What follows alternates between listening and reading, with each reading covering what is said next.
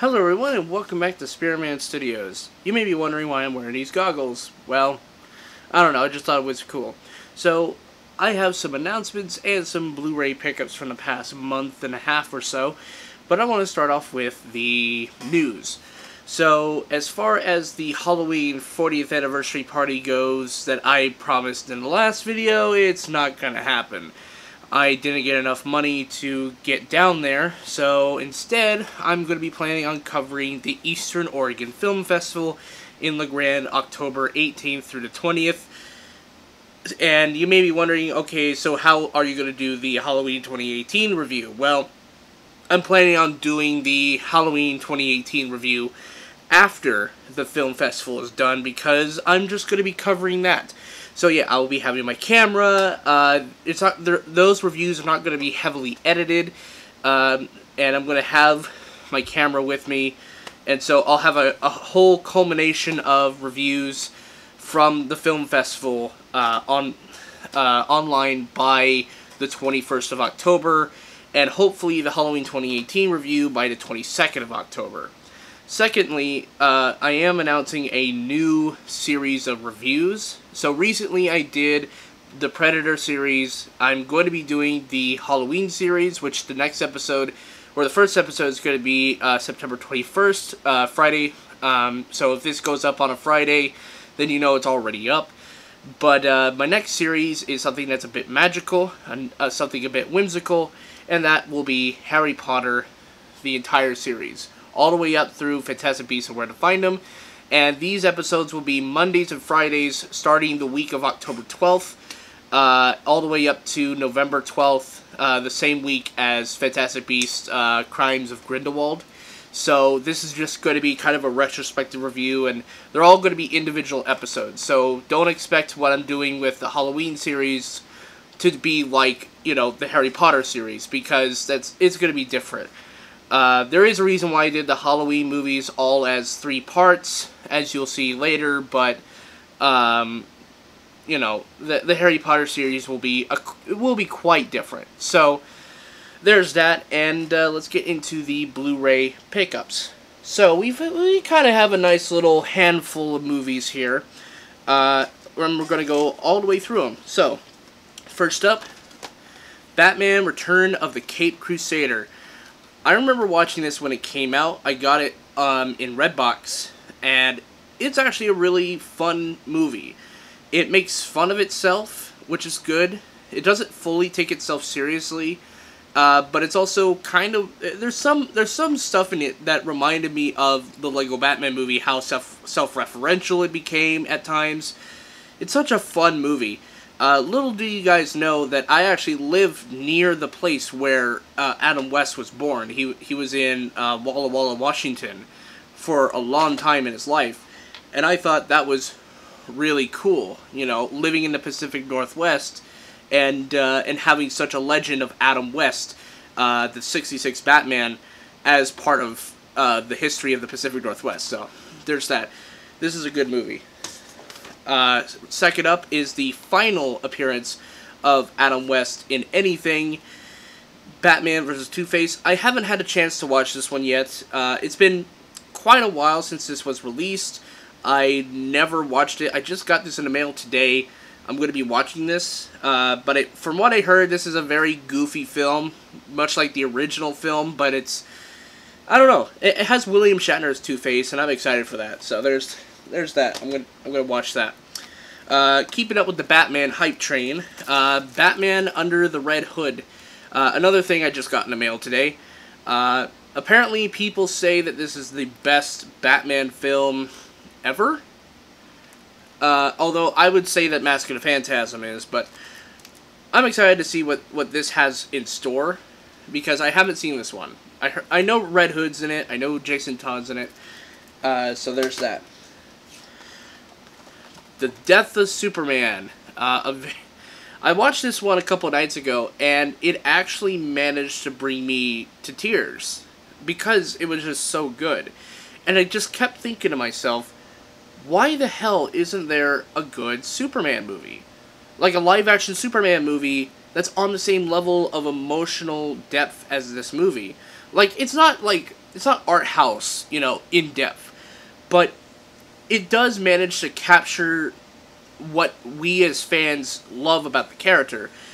It's not the fact that he's all super, it's the fact that at times he's challenged humanly.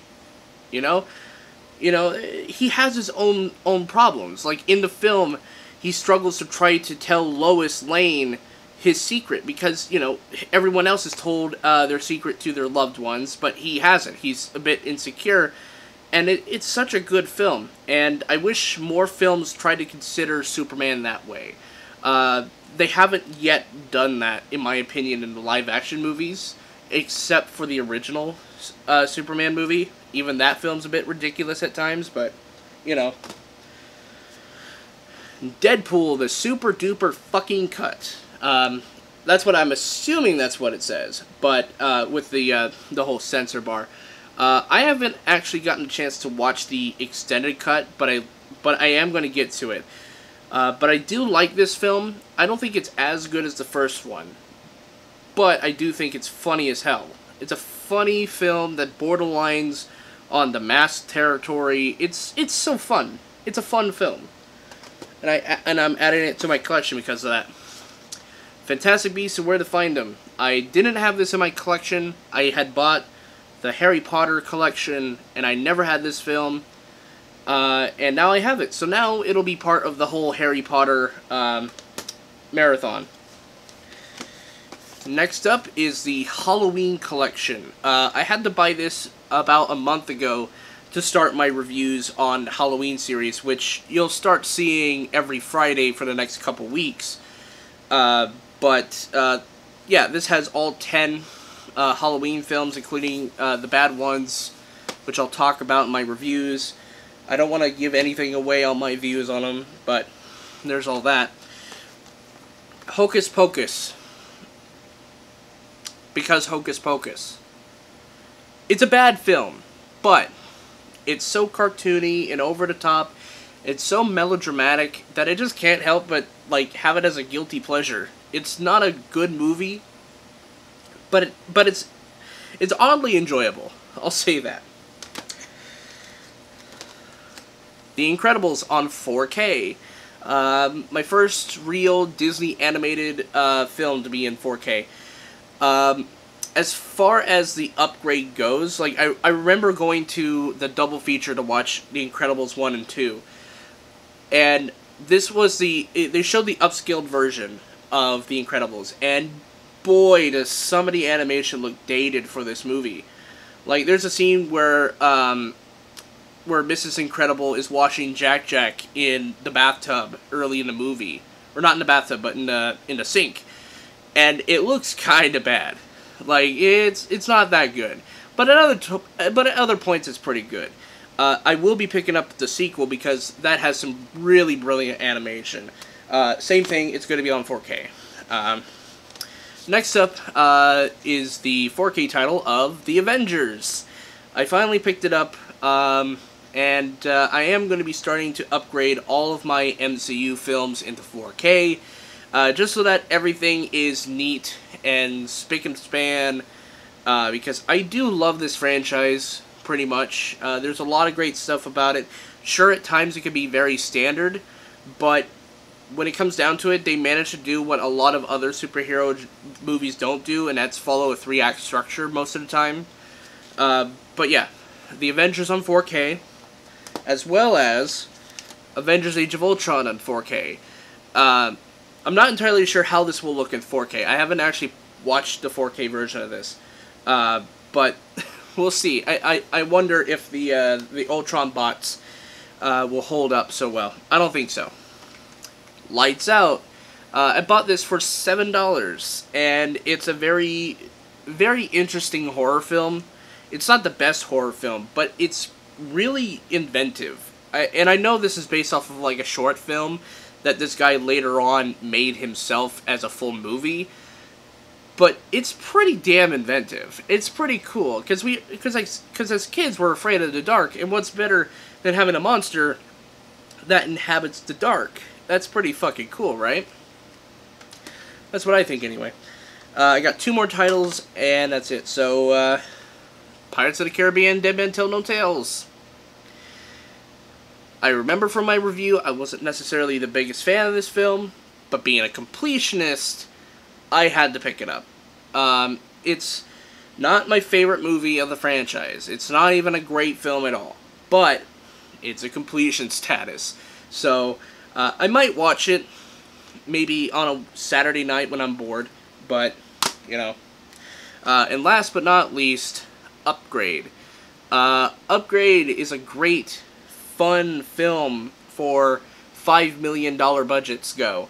Uh, this is a very fun, entertaining grindhouse sci-fi movie. It's not the best, but in terms of how it's executed, it's really good. Um, it's it's not it's not best of the year, right? But it's really cool.